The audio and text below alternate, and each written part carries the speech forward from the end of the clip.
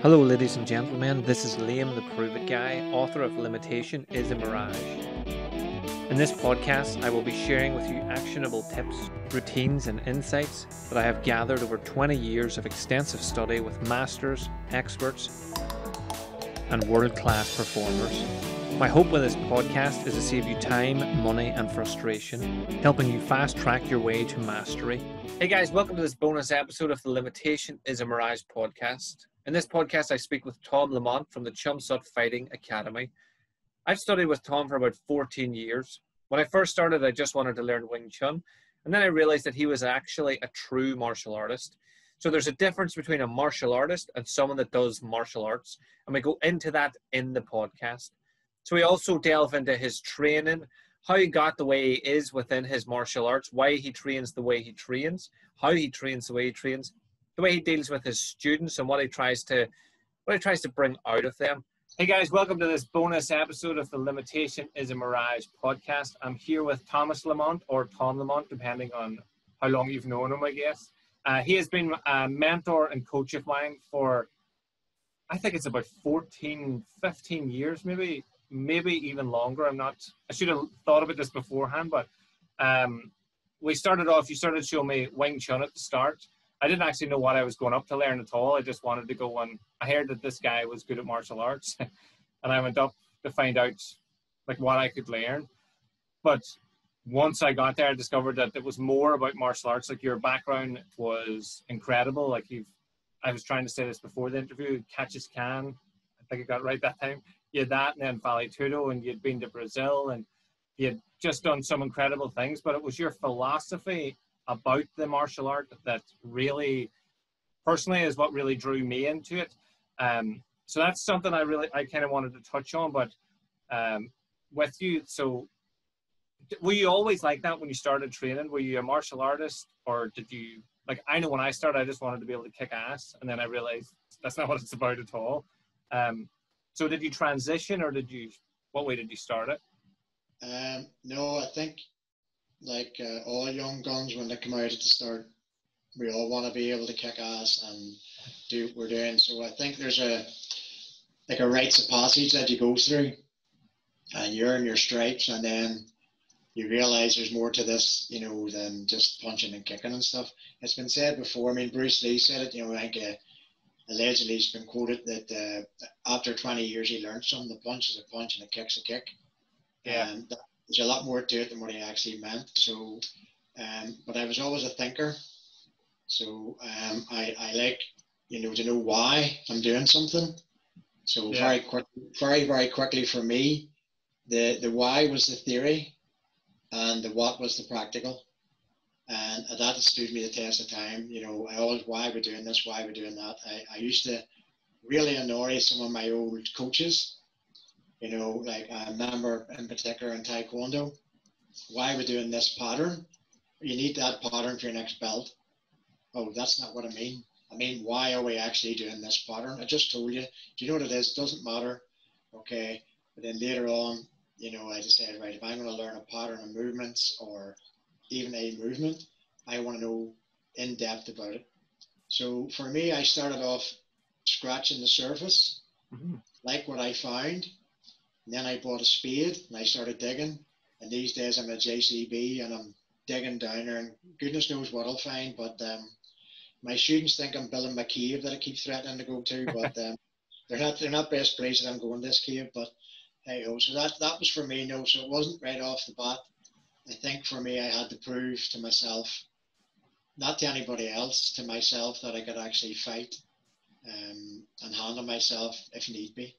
And then very quickly, I realized why I was doing it. Um, there's a very deep philosophical, spiritual path with the martial arts, which I don't know a lot get into, and um, I latched on that very quickly. Um, but I mean, who wants to listen to that? You know, when you're teaching um, but as I say, no, it was a, more of a rites of passage for me, Liam, yeah. That, just when you're saying who wanted to listen to that, that was, I remember my first lesson. Actually couldn't drive at the time, so I got someone to convince someone to drive me up the road. So I drove up for up the road just over an hour, and I had been learning Wing Chun, learning on through a book and a wooden dummy by myself, just battering this wooden dummy, and loved kung fu movies and like the whole idea of the. I loved all the old school ones where they had like like the medicine men that were healing, but they would like the Robin Hood type version. And then in the first lesson, there was about two or three wee nuggets that creep through, where I was like, this guy. It's not just about the fight. There's something I didn't know what I was listening to. If that makes sense, in between your terrible, not terrible jokes. Those are terrible. Like they were like daddy jokes before you were old enough to be saying daddy jokes. Well, um, well, they've they've actually progressed now because they're, they're the same jokes, but they're grander jokes now. well, yeah, that's what happens with age. You see, that was one of the things I loved about the session too. You might go through something like that was mentally and physically tough. Like we'd learn a new um, pattern or, or whatever it was we were learning. And then all of a sudden, the whole room would shift because you would tell a ridiculous joke.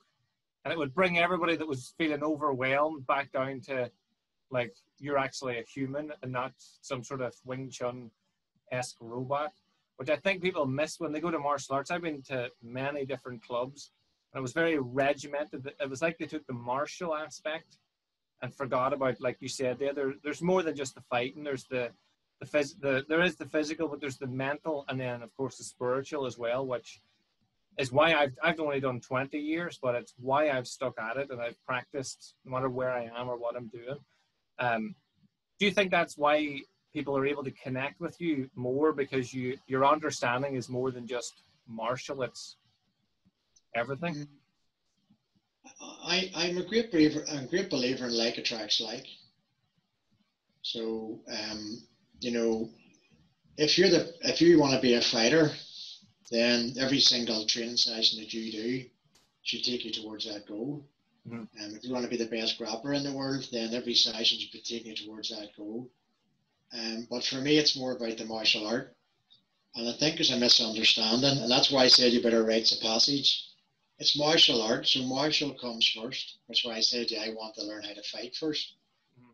The art side of it, okay, um, there's a bit more to it than that. Okay, so um, when you get a coach who knows what they're doing, and they say to you, "This is quite simple. Where do you show you?" You can rest assured it's going to be the most complicated thing that you have tried to do in your entire life. But the coach yeah. you looks so damn simple. It's like, you understand that? Yes, Sifu. Show me. Could you show me that again, please? You don't understand at all. And that's the problem. People are too much of a hurry. Mm-hmm. And for whatever reason, um, and as I said to you, the martial art end of things. Some people get the martial and some people get the art, but they don't get martial art. They, they mm-hmm. haven't got talked about before the interview started the, the equilibrium. You don't they don't have that balance. Some people's all fight, fight, fight, and some people's all tree hugging. Mm-hmm. And both both have a time and both have got a place. So I, I actually wanted I get into that and wanted to see what that was about, the martial art anything. Um, the jokes, um, they are they're extremely bad and they don't work good with time. It's the same jokes and there's a, a film and whether the film's any good or not, um, it's relevant to the question. It's called An Officer and a Gentleman, and funny enough, it's actually on the television a couple of nights ago. So they started the film, and then uh, Richard Gere has his rite of passage, and he's sitting at the end of the film, and the start of the film, the start of the film and the end of the film is the same. Mm-hmm just goes back to the start again. And that's what happens in martial arts. You go back to the start. But what happens, you go around in a circle. But when it's just about to link in, you go in a wee bit. You start off with a big circle. And then eventually you've got the minimal circle. And you realize, ah, that's what I've been aiming at all along. Like a good archer, he's aiming for the bullseye all along. He's trying to cut away all this other stuff to get straight into the bullseye. But you can't walk into a shop and buy 40 years worth of experience no. You, have got to you've got to go in, and coincidentally, um, every uh, coach that I've stuck with, shall we say, um, has got three things in common. And as I said earlier on, like attracts like. Okay. I've been very blessed in my life with good coaches, and because um, like attracts like, and they have a sense of humor they don't take themselves too serious. This is the problem. I'm standing from the class. I'm this. I'm that. No, I'm the most important person in the building. Actually, you're not. Okay. Yeah. because you know we have to have the balance.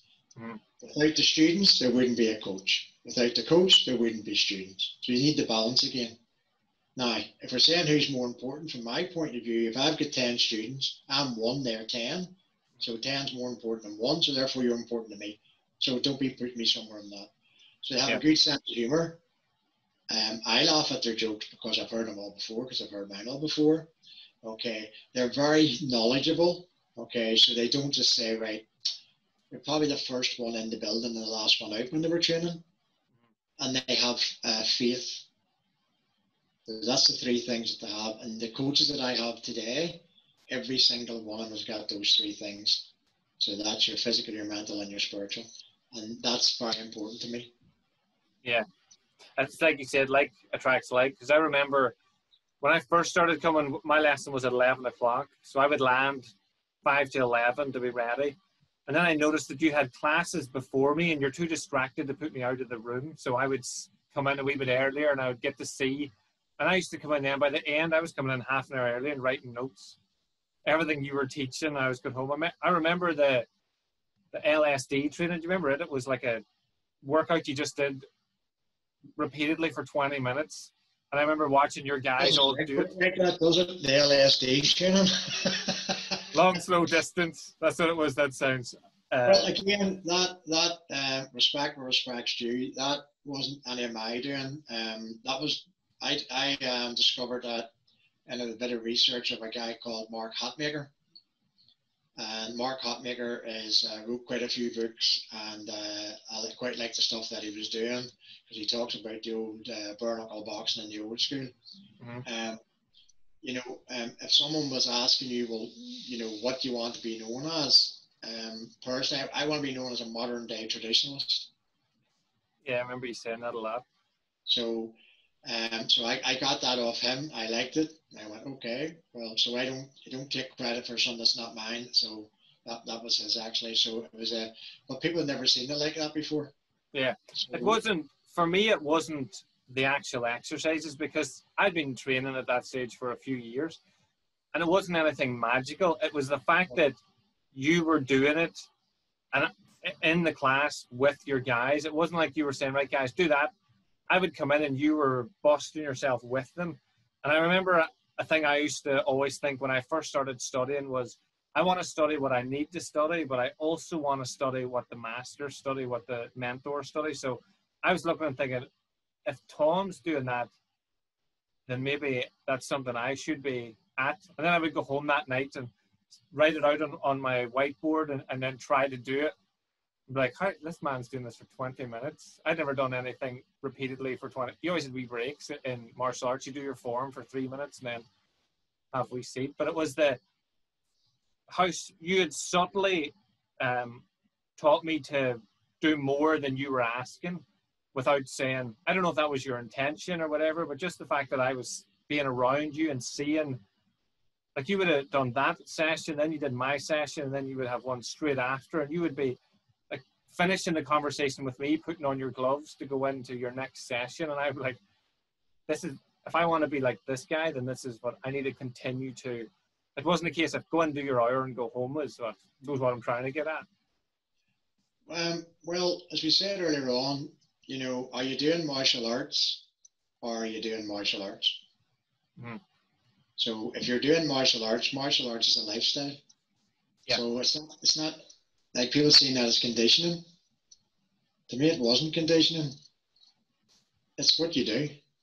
You know, Yeah. ult- the, ultimate, the ultimate aim at the end of the day is your every movement is martial art. hmm You know, and as far as I'm concerned, there there's no such thing as one martial art that has everything. No, no, no one person that has everything. So coaches need coaches. Um, students need coaches.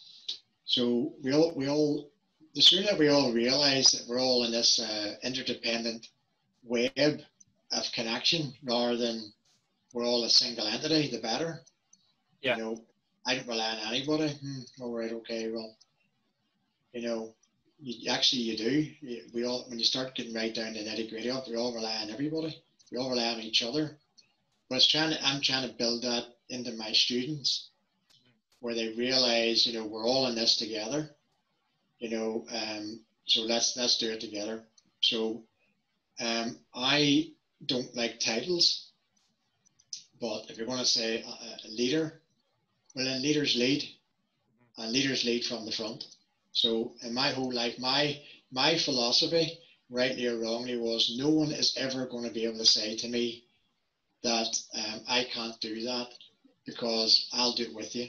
So when you've got we teaching a lot of kids classes as well now, and you're down doing an exercise, and it's like, what age you? Oh, I'm 17. What age you? Oh, I'm 17. What age you? I'm 17. Right, you're 54. I'm still older than the three is put together, and I'm doing. Get on with it. Yeah. Okay. I think I think this is the problem. Um, there isn't any characters anymore. People are Yeah. scared. People are scared to be a character. You know, this is why this is why it worked for Conor McGregor. He's a he's a why you like him or lose him, he's a character. Yeah. You got to give him that. Like he's a character. He um he preached same as Chris Eubank. Like him or lose him, promoter's dream. Puts bums on seats. Yeah. The crowd's there to see him getting beat, Half the crowd's there to see him win. you've Got a full house, and that's so you're trying to get that. But again, I don't. I'm not saying that's right or it's wrong. Um, whenever I when I did a bit of pro wrestling um, with um, the guys, um, I think they trying to say, "Oh, I was just coming in nice, quiet, whatever," and then when I hit the ring, then go. I mean, that was good fun as well. Um, I, had a, I was invited to Japan actually to go to into the pro wrestling tour with them for six months. Not a lot of people know that. Um, didn't know that. I I couldn't go. Um, and then um, there's a guy called Orig Williams. He's passed away now, and uh, he ran a show over in Wales.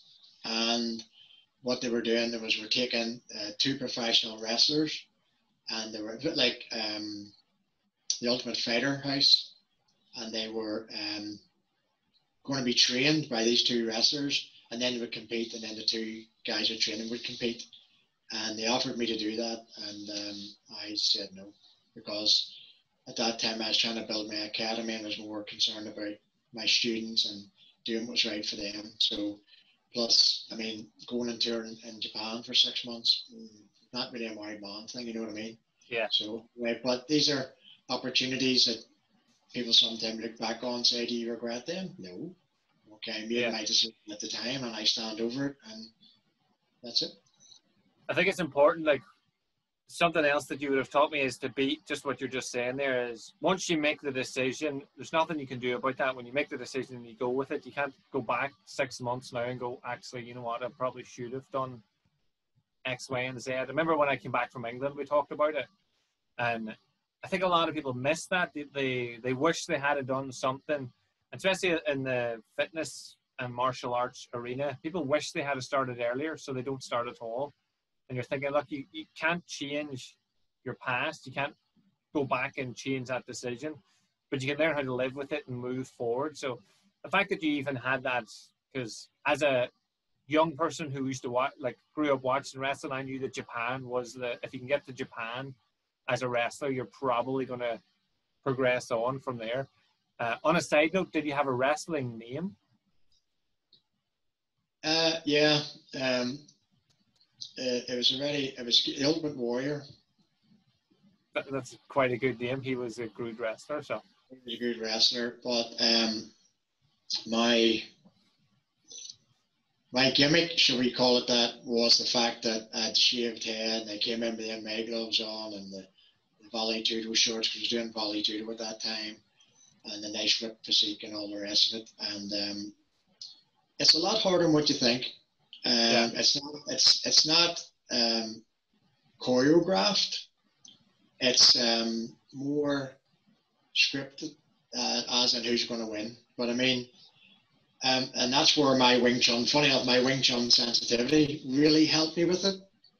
Um, first of all, when you get into the ring, if you don't know how to land and how to fall properly, you're in serious trouble. Mhm. Um, so they say, here's what's going to happen at the start of the fight, and here's going to be the outcome. What happens in between? We'll make it up as we go along, parts of it, and other parts we'll rehearse. Yeah. So when someone's got you in a clinch and they grab your arm like this and they go like that, that means they're about to do something. What you may have an idea, you may not. So you tense up, and all of a sudden you get hurt. Yeah. So you have to learn to go with it, which is another thing I like about. Um, you have to learn to let go. With you, you can't bring an ego into the martial arts. Well, and you get a lot of them coming in, and you'll hear me saying these days quite a lot. Don't don't train don't train on your ego. Mm-hmm. Leave your ego at the front door and come in, because it's training ego. Like I've just finished a couple of classes, or the last one was an hour of uh, martial arts flexibility, and I always say to him, don't train on your ego because what you'll do is you'll see me doing something, there's somebody else, oh, you're going, they'll go up a bit further and ping, you've just pulled something. Train your own capacity. And, you know, why are you looking at this person anyway? If you're trying to be the best version of yourself, why are you comparing yourself to the person beside you? If you're trying to be the best version of you, then just get on. You've, you have enough to do with getting on with this without worrying about that. Yeah. So, um, and that again, that was through um, BJ Back, who was a wrestler, and uh, my background in uh, Olympic freestyle wrestling was with Master uh, Dave Finlay, who is the father of uh, Dave Fit Finlay of WWE fame, and Dave Fit Finlay, uh, son, is actually now a very prominent wrestler, actually in Japan. Funny enough, he's Dave as well. They yeah. didn't go too far with the names. Well, there's a funny story about that because whenever Dave, Dave's actually, um, the thing about it is when you're doing it, I was introduced as a shooter. And yeah. Uh, a, bit, a bit ignorant at the times. You're like, well, what does that mean? Well, basically, it means like at the if there's Dr. Al Digstone, you're not some six foot plus guy who hasn't quite made basketball school and has went to wrestling for a, learned a few moves and whatever he does, he does. And you can actually do it. Uh, so all of the all the Dave Fit Finlays are all shooters. They're can all they're all fantastic wrestlers. But um, Dave, the, the youngest of the three of them, um, was with his grand. That's his grand, obviously my coach in the academy. And Dave, young Dave, and I was talking. He's here. I'll tell you what. See, when I get married and I have kids, I'll not be calling my kid Dave. I'll tell you that. And I leaned into his ear and I said, "Will you tell you something? You ever heard of Shirley Crabtree?" He says, "I." even if your kid's a girl, you'll be calling it Dave no matter what.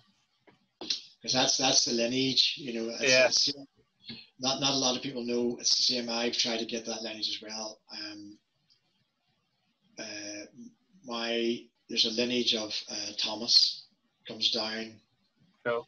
Um, stuff, uh, but more importantly, you would think Thomas. No, um, there's a lineage of Frederick, which is my my father's name, who sadly passed away. So I'm called Thomas Frederick. Okay, and my other son's called Lee Frederick. Yeah, and then and my grandson. Okay, um, his name is actually Freddie. It's on his birth certificate. Is Freddie. Cool. As our first grandkid, and they asked, we're, he was being called Nigel after his other grandfather, and we're going to call him Thomas as well. And I said, no, it would really make my day if you called him Freddie after my father, which would be his uh, great granddad. So there is that, and I think that's a thing that, that's missed in the martial arts these days as well. That you know, finding that person to pass it on to. Yeah. You know, it's it's it's a bit like um, when when the right student comes along, the right coach will present himself, mm-hmm. and then they'll match, and that'll be it, and then off you go with that. Yeah. This is what I mean by this like attracts like. Mm-hmm. Yeah, I, I remember when Dave, I think he was, is he called Dave Junior or was he just called Dave at the time? Uh, Finlay. I was there whenever he was over. Was it uh, at one of the stages? I remember uh, rest. Well, I'll call it wrestling with him, but I was like a rag doll, and he was just like. What was annoying was he was so gentle with me. And I was like, I would, I would prefer you be rough, so at least I feel like I'm trying. But he was just like putting me it's down bit, and just. It's a bit like um, Master Jack Munford, my catch as catch can wrestling coach. Um, I never was beat up as nice in my life. And I look up and there's this wee man, without being disrespectful. Dave's not a big man either. No. But you know, both Dave is um, loving the bits. He's in his 80s now, and he would still you know. Yeah. There's a, an interesting story actually. Um, we had him trained every Saturday, mm-hmm. but also we did a class before he came. And Dave, very regimental, and uh, say the class started at 12 o'clock. He'd be standing ready with his gear on 5 to 12 as we were all going on the other class. But this particular day, he was standing there halfway through the first class, like at sort of quarter past 11 or something. What's going on here? What's going on here? Blah, blah, blah. So he he he is um, like that where he wants to pass the things down and he would have came at the right time or came earlier like yourself interested in what you have to do. Um, I remember um, he's uh, another again not name dropping but I'm just paying respect to my coaches um, coach Eric Polson again master Eric. Again and Dave I showed him some stuff for him he says Tom no you, he's and then it's kind of ironic, but I do combat submission wrestling, Olympic freestyle wrestling. I do Kushti wrestling with Master Paul Whitrod. Okay, and I do catch catch can wrestling um, with Eric as well. Okay. Um, but anyway, story goes that um, this is what I mean. I, what age I was, quite, quite old anyway. And at the end of one of the Saturday morning classes, I always give coach a hug, give him a kiss on the top of the head. See you next week, coach. Maybe phone you during the week, usual. And um, no, you'll not see me next week. Right? Okay. Well, you busy or what? No, I won't be back. What? I won't be back. What do you mean? And just walked off. Right. Um, um, my students were watching me, and apparently I was like, "What?" And so, of course, first thing you do is turn to your students. What the hell did any of you say to him? We didn't say anything. The next thing the two doors open upon in my face. Oh, I knew you were only joking. Uh, I wasn't joking at all. Just come back to tell you something. He says, You have everything for me you need. You don't need me anymore. Go and make it your own. Yeah. And have a nice one and left. And I didn't see him for years upon years. And I thought to myself, that's not the best thing ever happened. No. But, but actually, it was the best thing ever happened because what he done was it's a bit like a rite of passage again, right? I've taught you this and taught you this, right? Now make it yours. Mm-hmm. He just passed it down. Now make it yours. So the only, the only way it's going to get was make it. It's a bit like this um, situation that we're in at the moment with this pandemic. I've been telling my students for years, and um, you were slightly different what I mean by that was I've been telling people for years, whenever you're shadow boxing, whenever you're doing anything, solo training, we have a four stage procedure to sparring. One solo, two is partner, three is live, and four is free. But your solo training and your partner, or so your solo training, your free training, your free training is your self expression of what your coaches have taught you, not a robotic style. Yeah. So you were you were different for whatever reason. I don't know probably why you know would have said right. I want you to visualize your opponent in front of you, and people just turn to me and go, "Excuse me, what?" And then we're talking X amount of years ago when all this hypnotherapy and everything else wasn't big news. Visualize your opponent. How do you do that? And I, I remember thinking myself, how do you do what? Just imagine there's a person. Oh, look, there's a guy who's threw a punch. That was a nice cross right. Just did you not see it? No. Okay and I used to do a trick where I used to stand at a wall, and the wall was here, and I was bar, I was there people and I was shadow boxing this guy here, and people used to stand there and I said, Can I help you? Oh, I didn't want to disturb you with, with this, were you with someone? I said, Come here. And then I walked around behind the wall, there was nobody there. Oh, I could have swore behind. And I said, That's correct. And that's what shadow boxing or shadow fighting should look like. And uh, you were different because, for whatever reason, you were able to visualize and yeah. was part of your training. So the point I'm making is in this pandemic we're in at the moment, it's actually they have no choice now because I'm like we are now. I do a lot of Zoom classes mm-hmm. and I'm saying to them, visualize the guy in front of you. There's no choice now, they have to. So it's actually accelerate their learning. So it's been for us it's been a very, very positive experience. I think that that idea when you explained it to me it, it made sense because I was the same as you. I, I didn't ask as many why before I met you, and now, um, as knowing you, I have annoyed every instructor I've ever had by they teach a subject, and then I go, why. Like I remember when I learned hip, hypnotherapy for the first time, and we were taught taught a four part process, and I went, why? I'm sure I could just skip part one and part three and do two and four, and the same result will happen. So, whenever whenever you were saying you to me, because, eh? You should you should question everything. Yeah, that's why I do. And I, I remember when you said about the visualize the opponent in front of you. I didn't have to ask why because you explained, and then that. It's why then when I go into anything, at my my visualization has always been been pretty strong in general, but because of the why, like I wanted to know why why am I standing like this? Whenever we did the wooden dummy, for example, after like I, I battered it for years on my own before you said you don't this like when you did the first three movements, I was like, no, that's not the form. That's and then you asked me to show you what I do, and I did my three, and you were like, that's the same thing, but you're trying to smash the dummy, and I'm blowing the move. And that, that's just going to lack of understanding, as you said. You know, yeah. Uh, you know, and people need to understand. I think that's why we said why. yeah. So you know, the wooden dummy, and people don't even realize this, the wooden dummy will give you a certain amount of arm and leg condition. Mm-hmm. But actually, the way I teach the wooden dummy, what the wooden for, it's like a protractor, it rectifies angles. So a protractor yeah. rectifies angles. The wooden dummy will rectify angles of attack. So I'll say to some guy, I can hit this every bit as hard as what you can. And you can hit every bit as hard as what I can but there's less chance of me hurt myself because I'm attacking it correct. Yeah. And that, that, that that's the difference. You know, you're coming at, at the right angle, you know, and that's what I mean by you have a philosophy where path of least resistance. So um, the way isn't free, you make it free, but then that's not the path of least resistance. Instead of trying to make that way free, why not come in this way at an angle? But that's your footwork, which has a team in any art. But yeah, whatever art it is you're doing, okay, people make a thing far too complicated. Mm-hmm. It's in any art, okay. So what you do is you look, you look. There's only, for instance, there's only so much good stuff to go around. So there's going to be similarities, all right. So my, uh, I would say to people, get a, get yourself a core art, and really understand that core art.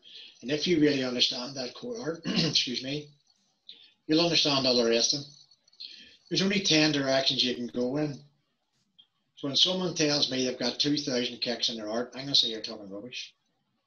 Because, oh, tell me. Well, they've got a front kick and a jumping front kick. No, stop. Take a jumping bit out. What is It's just a variation of a front kick. There's only 10 directions you can go in. So think about that. No matter what art you're doing, I don't care what it is, you can only be attacked from 10 directions. So what now? Instead of worrying about all these millions of techniques and things, I'm worrying about 10. So, for instance, what I'd say to guys is close your eyes and visualize 10. Most people can do that, like 10 people, 10 trees, 10 whatever. Okay. Now, then, then to make it complicated again, close your eyes and visualize 100. I can't do that. You can visualize 10, can't you? So why not visualize 10 piles of 10 coins? That's 100 to get it back to the tens again. I never thought of that. And that's the problem with simplicity. Okay, I think it was Leonardo da Vinci said simplicity is the ultimate complication. People, because we're adult and we're supposed to have an education, we think we're so, whatever this means, smart. Actually, we're not smart at all. Okay, we need to realize um, this is why we've been very blessed for grandkids. We get to do it all over again. And you're yeah. seeing them coming up, that's wow, this is like amazing. And what, what do they do? Why? Why? Why? So that's and then then it gets to the point where don't ask me, ask your mom, ask your dad, ask your granddad, ask the cat, ask the dog, ask Aunt. Don't ask. Look it up on Google. I've had enough. Okay. But the thing about it is nowadays, what I answer questions when I say I will answer you that question based on my experience of it. Mm-hmm. So um, and I'll answer it truthfully, which is more important. Okay, so you answer the question truthfully based on experience. If you don't have the experience, that's why you're going to a coach to get the experience. Yeah. And then from that, you're then told, right now, you question that. okay, that's what it means to me. What does it mean to you? So, for instance, I would say, this is the way that I like to do it. Now, that's misinterpreted into this is the way you have to do it. That's not what yeah. I said. This is what I like to do. And this is not the definitive way of doing it. This is but an example. Now you find your way. But I want to do it like, like listen, I could put you on the conveyor belt here, bring you up here as a black belt, and you'd be brilliant, but you'd be a robot. You couldn't call yourself a martial artist. What's the and that goes against everything that I believe in. I think we're all very precious, unique individuals. Why do I want to be this person? Yeah, no, I agree. I love the whenever you explain the ten directions to me, and I've used that in a lot of my talks and stuff because most people, and I know people listen to this too, will be thinking ten directions, and they'll do their wee quick math and they'll go, I know eight. The compass is eight. Well, where is he getting the other two directions out of? And then when you go, it's it's up and down. Oh, like it's it's something so simple, but like you said, we're supposed to be smart. We overlook the simplicity of well up and down uh, our directions, and then that's it. Like I remember having an experience when I went over to England, and people tell me one day that they asked what sort of training I had done, and I was saying I was doing a bit of Wing Chun, and they told me, "Oh, Wing Chun shite," and I was like, "Where? Why? Or can you elaborate on that?" And they were like, "No, it's no good." But I knew the art that they did. It was a five, um, five ancestors system, and I said to them, "Show me the end, the last three moves you do in your form." And they did it, and then I showed the last three moves in the first Wing Chun form, and they're exactly the same. And I'm like, and I, I, the statement that you said it earlier as well is there's only so much good stuff going to go around. There's only so much the body is actually capable of doing. So why everybody is so argumentative in general about just martial arts. I think like who's what is the best art in the world? What is the best? It's down to the person who trains the art, who practices it, and the mentor that that they've had. And again, it's why that I was able to connect so well with you because you you knew the physical side of the art, but also the the spiritual side of the art, the mental side of the art, which is like you say, that's what most people aren't martial artists. They're people who learn techniques or who want to be fighters, but they don't they don't understand the like what are you gonna do? Like whenever I'm I was gonna say whenever I'm your age, but that would have been rude. Whenever when I'm slightly older, am I gonna min- be able to maintain? If I didn't meet you and I'm still smashing a wooden dummy, like I would have broke. Eventually, something I'm just lucky nothing got damaged in the meantime. So the fact well, that what you've got to ask yourself, sorry for interrupting, is this: you know, the physical body, you're going, you're going to be um, at some point. You must realize there's always going to be somebody faster, somebody bigger, somebody stronger. At some point, you have to realize that. Maybe some people even realize that at the start. This is why they got into it. Um, I remember one time I was in a private lesson at my house, and this guy phoned me up and blah blah blah. And he came up and he was about maybe five foot four or something like that. And I was on my front doorstep. My front doorstep was maybe about six or seven inches or whatever. And he went, "Oh, I'm sorry, you're not what I was expecting." I said, "I'm awful sorry to disappoint you, son, but what were you expecting?" Well, the way you were talking on the phone about softness and using our person's force, I was expecting a wee man. Sorry, but it is what it is. And that's actually that's worked for me because we're trying to get that idea of, of working our way through. So then what happens is this, and we'll just give a blanket statement here. So we're not saying happens all the time. So don't be, um, I don't want people misconstruing what I'm saying, but what I'm trying to get across is when you actually realize, oh, this guy's stronger than me. And uh, what you do, you go back to the gym, you see it all as physical and you lift some more weight and you do, I've got stronger, go back again. And you're like, this guy's still stronger than me. And you go, yep.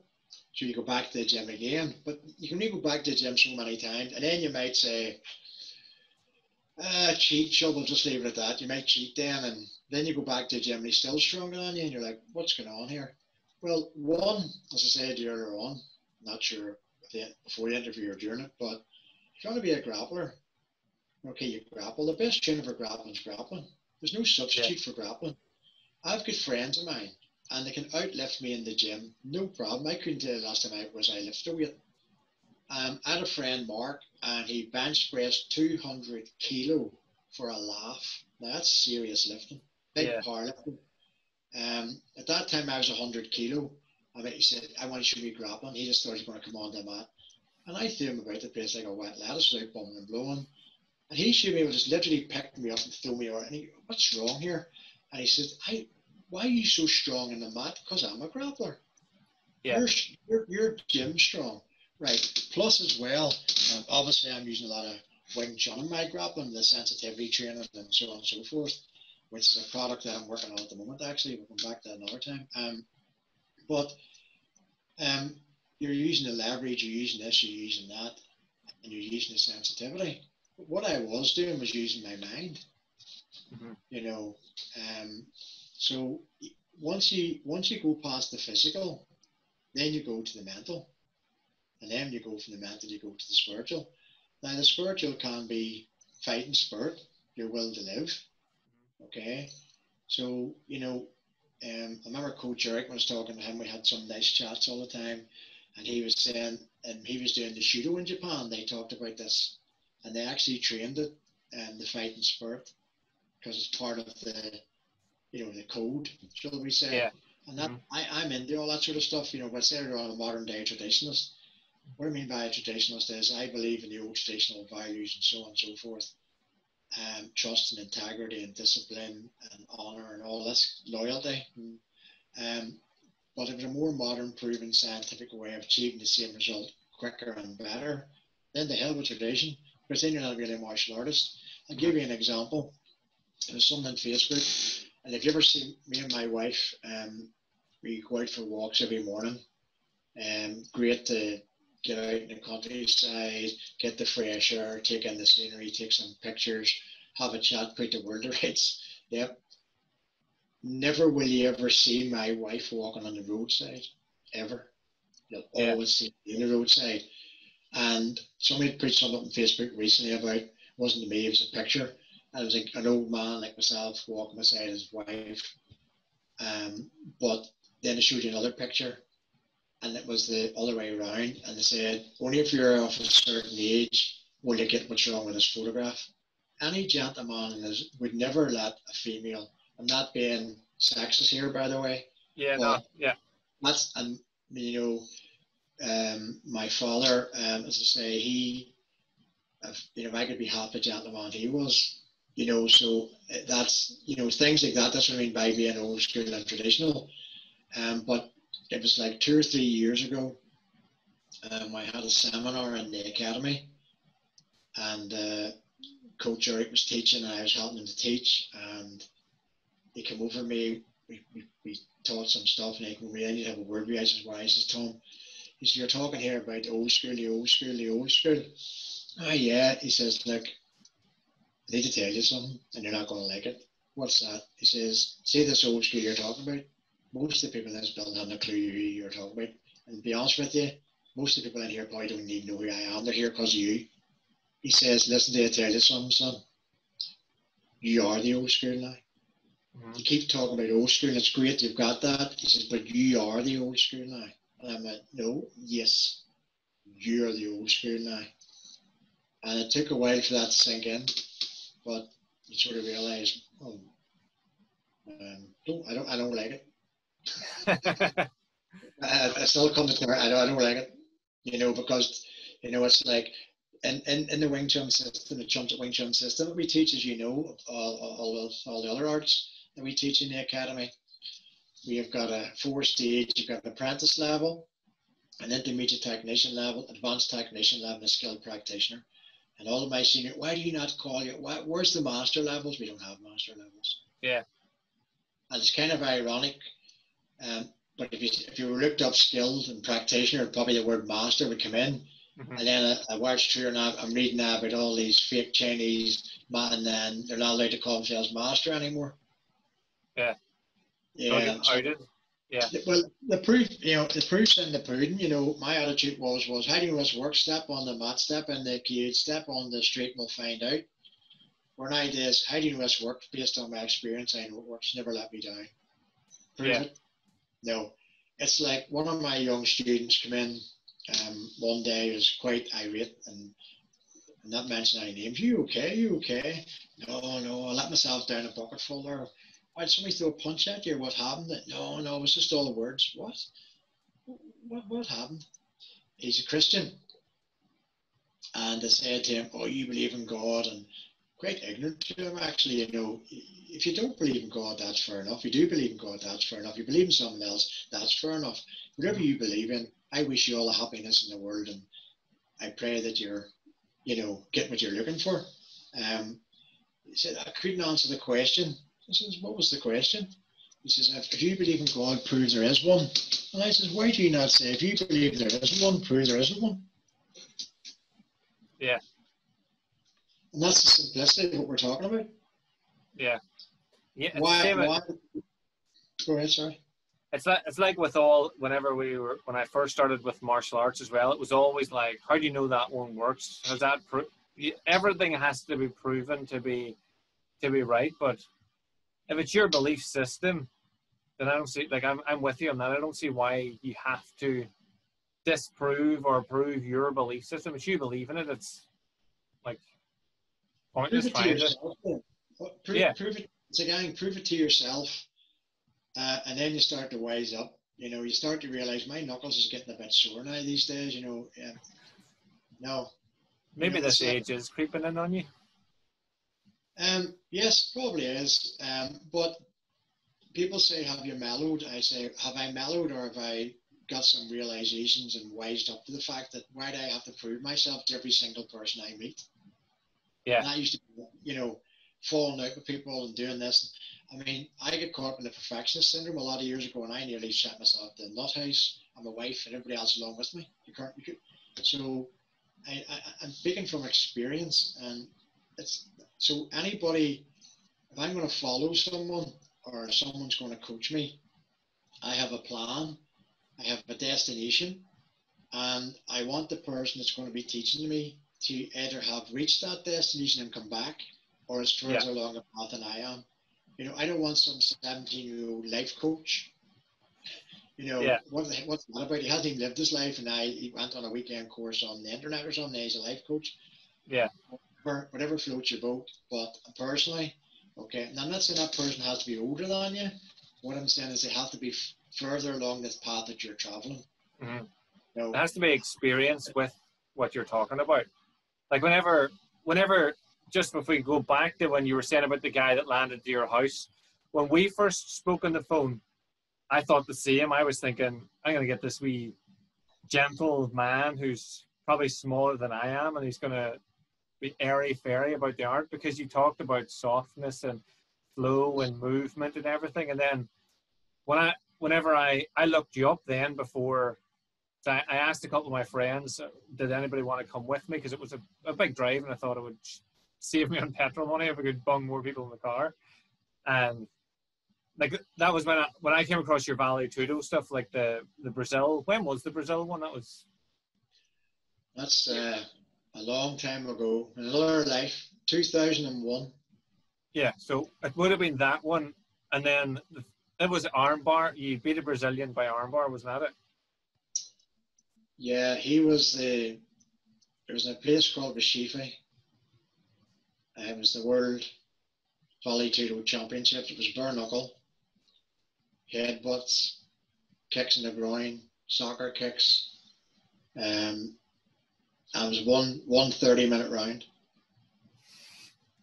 Most people hate going to the gym for 30 minutes, never mind getting in a cage for. It, we were talking about this the other day. It's kind of funny because my wife and I, Rosemary, we, we um, we just love holiday. We we're not really holiday people, but we like a, a night away here and a night away there.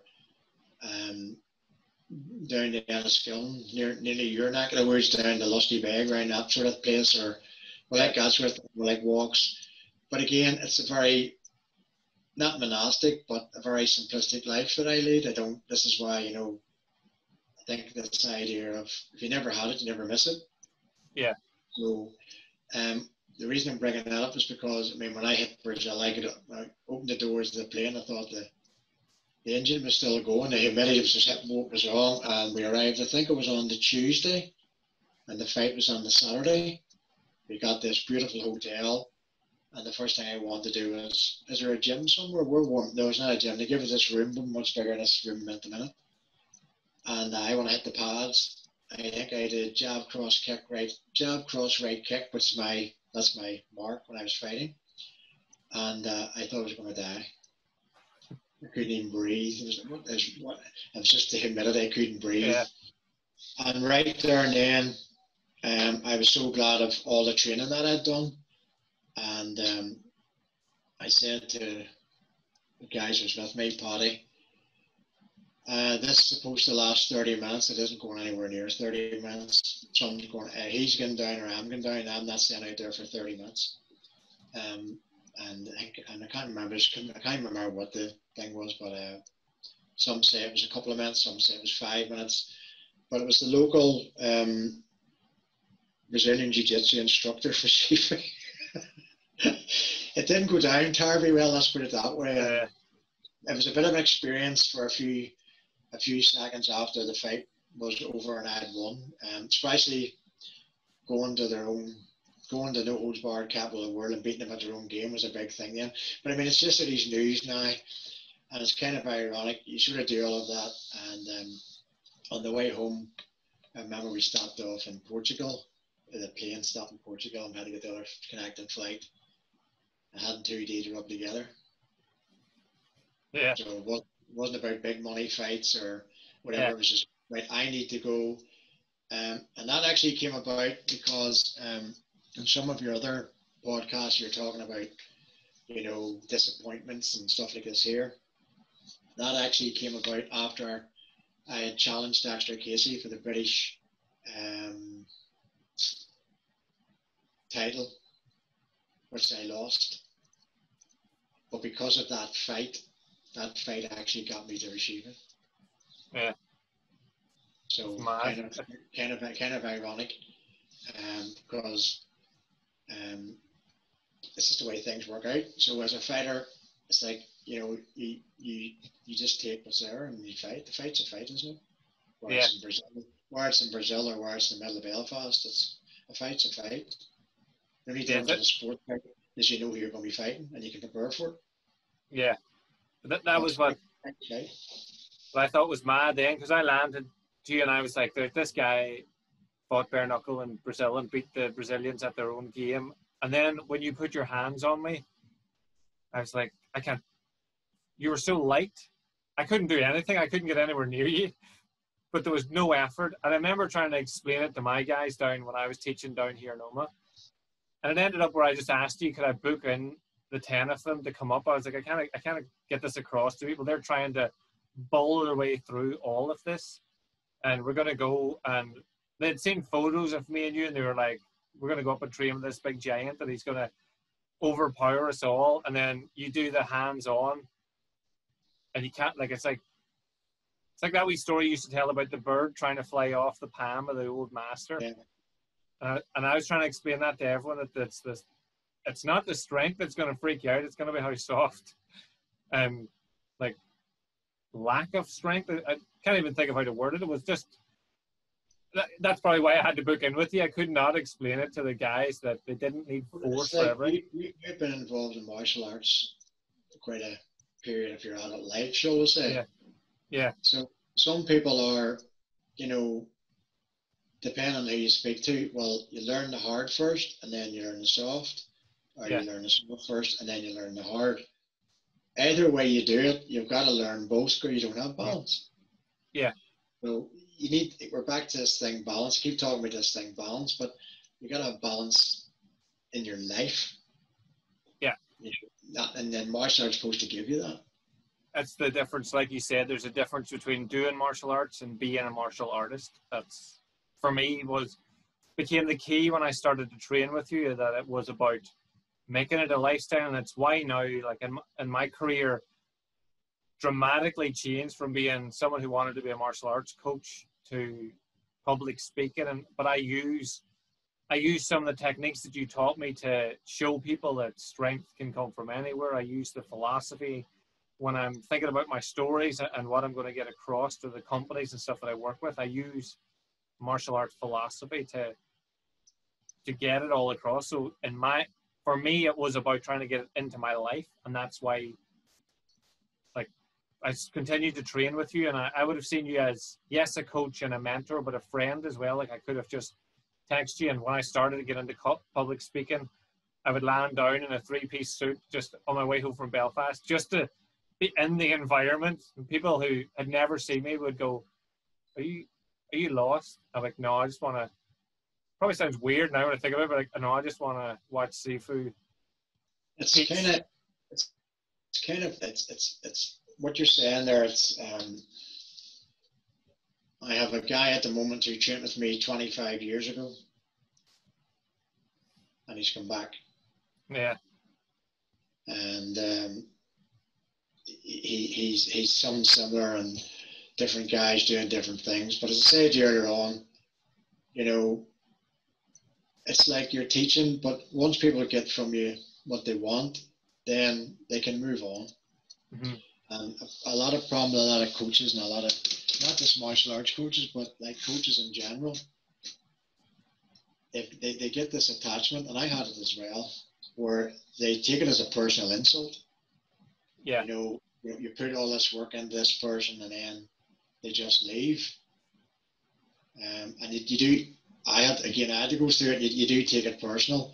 Mm-hmm. But nowadays I just go, okay, that person has came in, they've got what they wanted, they go somewhere else, fine. Um, yeah. And it's, it's, it's, um, from I was no age, um, I was talking to one of my other uh, coaches as well, you know, um, in the lockdown, I started doing one to ones with a guy in London. Not to do martial arts, but um, for my own personal development and stuff like this here. Um, anyways, and um, you know, it's people. It's from as no age. I think this idea of uh, you know, I had this idea for a book. It's called letting go of holding on. I never really knew what that meant. Yeah. Until I started getting studies and looking at you're letting go you know, people hold on to everything. It's like, you know, they, like stress and anxiety and all that sort of kinds. Like have this rucksack in their back. There's a bit of stress, put it in the rucksack. There's a bit of this, there's a bit of that. And, and you know, take the bloody thing off and set it down, let it go. But no, oh, they, they want to hold yeah. on. They're complaining about it, but at the same time, they're holding on to it. It's letting go, holding on. You know, so it's like a wonderful story of a, a woman that really sums it up. And that's what I mean by martial arts. You've got to let go of that holding on, let go of that ego. Why are you holding on yeah. that ego? It's holding you back. You're never going to be able to do this. You know, like you know yourself, the biggest fear surrounding fail, failure is actually the fear of failing. Mm-hmm. yeah. Um, so this story goes, this girl, she's going home, but she was late and she decided to cut to the graveyard and uh, when she got to the graveyard, she fell down one of the holes. She scrambles and grabbed on the grass to keep herself up. And this, that, now, and she held on, she held on, she held on, and she shouted out, and no one could hear. It was the middle of a graveyard in the middle of the night, till eventually she had to let go, and she fell one foot. If I had known that, I'd let go. Yeah. So this is what I mean by experience. Mm-hmm. You're guided, okay, by the experience. So you do know that so you can let go. But even at that, people still hold on. It's yeah. attachment. I think yeah. training with you, like you were saying there about people get what they want. I think some people get what they want and then they move on and forget it. But personally, when I trained with you, I got what I needed, not what I wanted. So what I originally wanted from you was to become this fighter. And then like we learned that I'm the least competitive person you'll ever meet. I don't like fighting. I don't. I'm not a violent person. Not that that that sort of. But you know what I mean. It just it just wasn't what I wanted. But the stories and the philosophy and the the fact that all of your training, like I loved that it was rooted in traditional, and I and I love the fact that you were, like you say, a modern day traditionalist. That's where I saw myself then, and again, it's where I see myself now. It's what I've done. I've I use martial arts more in my words than I do physically now, but um, that sort of leads me to because I'm going to round up soon because we're. I'd love to get you back again, so I don't want to make this one too long. But when you're saying when we're you're, saying you're the sorry, you're the epitome there of what you're just what we just talked about. So it's proud moment to be able to call you a friend and a student or whatever, because the martial arts is in your in your blood and in your bones now. So, On my walls. it's there. So, Everywhere. so, so that that's that that's what you're doing. Um, Mm-hmm. you know, because and what you just said there's the ultimate. You're learning how to fight so you don't have to. And Yeah. when pe- pe- people don't what people don't understand that. Yeah. Uh, every time I say people say you're learning how to fight, you don't have to. Say what's the point in that? And you go, that is the point. Yeah. I don't know. I know. When I started, I thought. Sorry to interrupt you, but when I started, I thought learning how to fight so you don't have to meant I would be so good that if anything kicked off, I would just like knock the person out immediately, so it wouldn't be a fight. And then, then as you taught me and trained me, I was like, oh, it doesn't mean that. That's not what that means at all. Well, how, how many cliches are there? You know, Aye. I, I used to be I used to be like, oh, I'll give you an example. Oh, fighting's like a game of chess, isn't it, Tom? Yeah, and then I'd explain to him what it meant. Nowadays, people say to me, fighting's like a game of chess, Tom, is it? And I go, what do you mean by that? Oh, you know what I mean? No, I know what I mean. What do you mean? Yeah. Uh, uh, uh, you don't know what you're talking about. You're quoting uh, quotes there, trying to make yourself look smart, and you don't even know what it means. Yeah. Oh, best the, the best defense is attack. Why are you teaching defense first then? What? Well, if you believe, and what do you mean by attack? You, just you just randomly quoting things. Yeah, Do a bit of research, son. In fact, get your t-shirt on, get your gear on, and get in the gym. Do a bit of sweating. And the best, you know what you want to do? You want to have a spring clean your brain. You want to mentally clean your brain, blow out the cobwebs. That's what you need to do. People's brain up here, and they're, you know, would you believe, you know, in the amount of people I've spoke to, and you're talking about mental training, and you go, now I'm talking about your brain here. I'm not talking about your mind. What? I'm talking about your brain. I'm not talking about your mind. Is that the, the same thing, Tom? And you're like, oh, jeez. No. But donkeys years ago, I taught it as you know. But nowadays, it's great. You can say, so you think your mind and your brain's the same? Well, of course it is. Okay, you've got a phone there. Yes, get that phone. Google, Google me a picture of your brain. No problem. There you go. Right. Google me a picture of your mind. I'll wait. right. Then, then all of a sudden, the mayor may not have, it's quite frightening for them. They might have a wee eureka and go, oh, I never thought of it that way before. yeah, Well, what did you think? But then again, did they just accept it or did they do no research? they That's didn't think. that- you know, it's a bit, it's a bit like, you know, um, why'd you do that?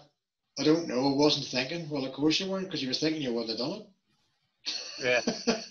I remember. this is why I, I think I said to you before about what I'm trying to teach you is the art of thinking without thinking. Yeah. And people are like, that doesn't make sense. And it doesn't make sense to you because you're not prepared to put the work in. But you're prepared to put the work in, it'll make sense. you used to ask the question. I think the, the whole thing was just again expand in your mind. One of your questions used to be, it might still be now, was if I flip a 10p in, in the air, what is the likelihood of it being a heads or a tail? Or is there any other outcome? And everyone would pick heads or tails, and then you would explain a wee bit more, and then you would say, well, what happens if it gets caught between the crack of the mats and it's stuck sideways? People go, Didn't uh. I didn't think of that. You know, like that's that's the whole. To me, that was the whole point. Like as silly as that might seem to some people, just a question, or you might be being pedantic, or whatever. Like the chance of it landing on its age, but there's still a chance. So Well, well, put it put it another way. People talk about yin and yang. Yeah. how can how, how can two be one? Yeah. Once you put an and there, it becomes plural, becomes two. So yin yang is supposed to be oneness. So you've just said yin and yang. Well, what do you mean? Yeah. Well, it's supposed to be oneness. How can you, how can there be oneness and you've got two-ness? yeah, See that coin we talked about there? There's not a head and a tail. There's a head Yeah. tail on one Yeah. coin.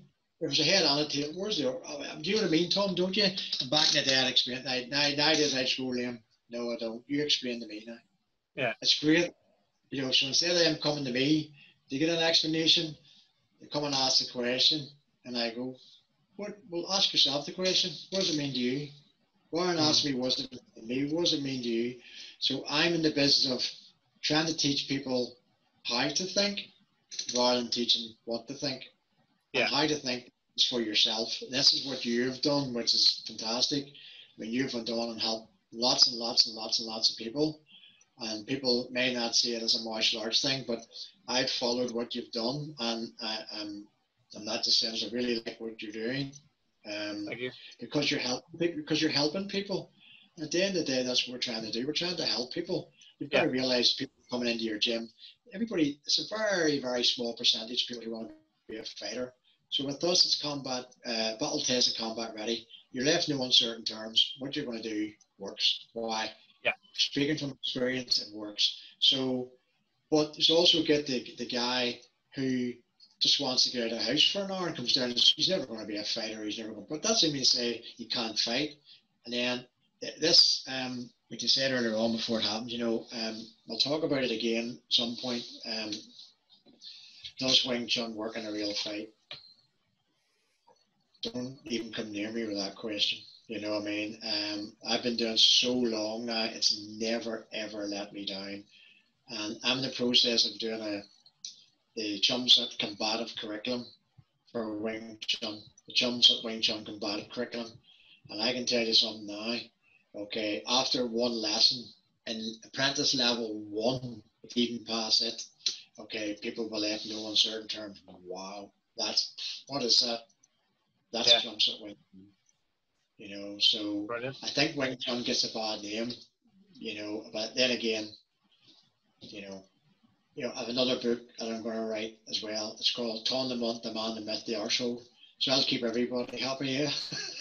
uh, where can we find that book? uh, oh, I just, have, I just have the titles these things. I don't have any. I have a free, I have a free ebook coming out soon, so um, it's uh, coming out hopefully uh, it's about 95% ready now, so it'll be coming out quite soon. So, Brilliant. And then on, on top of that, there'll be a, a product. The first product will probably be um, I've got to fill up all the it's behind me here. You can probably see loads of books and what have you behind me here. You know, you should be studying. You don't it's yeah. not all physics. You studying, doing whatever, and meditating and, and doing what you're doing. Um, but anyways, um, all, all it's all laid out. So just kind of in this pandemic goes over, get back into the gym and film it, the storyboard and everything's all done. Just film it, right. edit it, and get it out there. You know what I mean? Um, so I'll get you a copy of that. Which further backs your um, the fact that you're progressing in everything. So you're not you never just stayed as a traditionalist. You've moved modern day traditionalist. So you're even getting into Zoom classes and everything like that. Because at the minute there's you can do all that. Like m- most people would have just sat back and waited. All will be grand. Wait this is over and start again, start afresh. But just like any challenge, you just took it on as another opponent and went right. How do we for, how do we work this out so that it's better for our students and the guy I was talking about earlier on, the when he talked about IT and this that and other thing, um, one of my students from twenty odd years ago, he's now a student of one of my affiliate clubs, so it's great the way things come around. And I do coach development training. And we do it over Zoom now.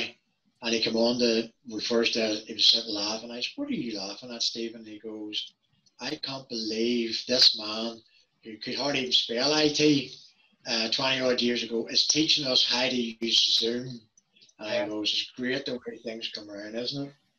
It's just but what do you do? You're a martial artist. You adapt, you overcome, you get on with it. Like I say, it's a, just another opponent. You can lie down, play dead. Not really in my genetic makeup. You know, it's I, yeah. I fight. You know, saying, and uh, it's nice. You know, um, it's horrible at the same time. You know, I come in this world kicking and screaming, covered out, covered in somebody else's blood and I have no problem getting out the same way. that's that's fight talk, but um, nowadays you don't want to go out that way. You know? uh, so, where can everyone find you if they're interested in getting in touch or seeing more of your stuff, or um, where's the easiest way to go? If they're interested in trying, it's uh, you can go to the website. It's uh, chumsut.co.uk. They can find us on the Chums Facebook page, or they're more than welcome to come onto my own page if you're um, into martial arts and photographs of country lanes and my grandkids and stuff that goes on like that there You're in my uh, own personal page and we have our own I say Chum Sut page or um, whenever the academy is open again as I said earlier on the academy never closed the building did because uh, yeah. we closed the building on the 13th of March and on the 15th of March I was teaching Zoom. Brilliant. I'd never even heard of Zoom before the 13th of March. And, and then what's this here? And then lo and behold, here we are tonight. This is amazing. Yeah. You, know, you can just wow. You can. I mean, I was um, yeah, uh, the weekend, or I was doing a because obviously you're always trying to improve. I had two or four two-hour sessions on Saturday and Sunday. Yesterday I had a uh, half seven in the morning to half nine, two-hour session with one of my coaches and then I had an eight hour walk, some lunch, and then another two hours with him in the afternoon. Fantastic. Because of this Brilliant. stuff here. Wow. Yeah. You know, where you don't have to get on a plane. You can just, wow, he's just there right in front of you. It's fantastic, amazing. You know what I mean? Yeah. And we do, you know, as well. And it's, it's, it's, you know, it's, for me, the pandemic, you know, obviously it's, it's there, but this experience has uh, enhanced my, you know, my ability Coaching. to yeah coach because it's it's a bit like whenever you're um you're just only if you're only a one dimensional approach to coaching and one of the students isn't getting it, then that's your beat. So you should use your yeah. martial arts in the way. Mm-hmm. So this is just the same where we can't, you know, teach it physically. But my, my students are like this much away from promotion when we get back to the actual building because they've trained that hard. They can't believe, you know, you know, the best comment that comment that I had was the guy who turned around and said, you know, Coach, see if you close your eyes, it's where blind you're actually in the building, the way you can generate the enthusiasm, this, that, and the other thing. That's awesome. Of course, I have to listen to my 80s uh, music, that's the only downside. But the 80s had the best music. It, it created the best music, 80s, definitely. Uh, 80s or 90s trance, I have to listen to that, unfortunately. Um, uh, kind of I said you're on like a tracks like and the coaches that I have, Coach Erik, when we went to America to train in the CSW headquarters, we walked in and 80s music was blasting and his jokes, believe it or not, are worse, and I mean worse than mine. and I just landed. I thought I had landed in heaven. This is uh, Walton was with me, just like, oh, I don't believe this.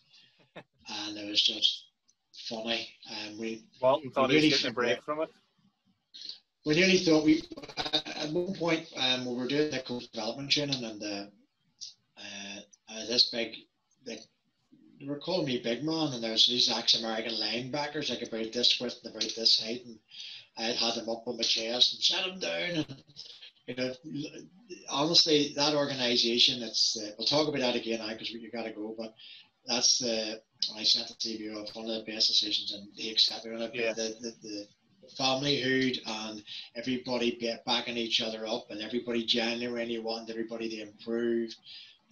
It's something like I've never experienced before. It's it's it's fantastic. And everybody comes over. It's it's just whatever you know. It was him that um, I had no interest in Brazilian Jiu Jitsu whatsoever because the said you're on it was freestyle all the other freestyle wrestling and catch catch can wrestling.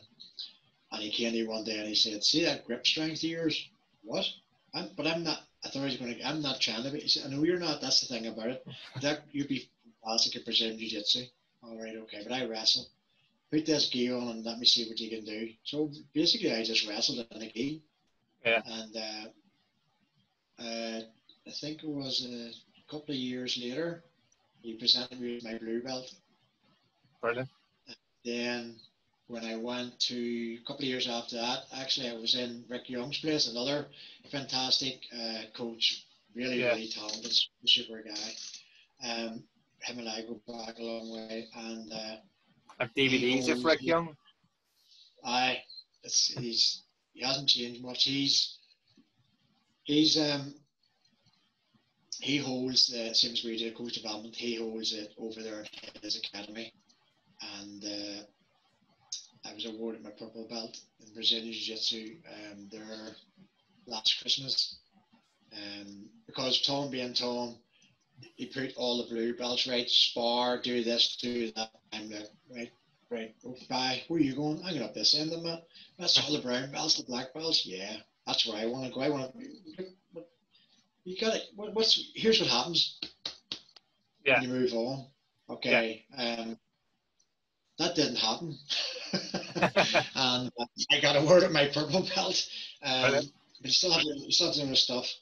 And then we'll have a laugh about it because, like, right, you do realize now because of you, I had no interest in this, but now you're you getting it. up to the belts. Now, now that's well, you have to finish the journey now, so to speak. Yeah. You have to get the prepared black belt, you know. But it's not about. It's not, for me. I think you know, if you go chasing after, as I believe it this, if you, if you go chasing after the belt, when you get the belt, that's it. So that, mm. these days I go chasing after knowledge. Yeah. Never going to get knowledge. Yeah, that's true. Yeah. Brilliant. Well, thank you very much, Tom. I, as always, love our talks, but uh, this one was extra special because it's been a while since we got to catch up.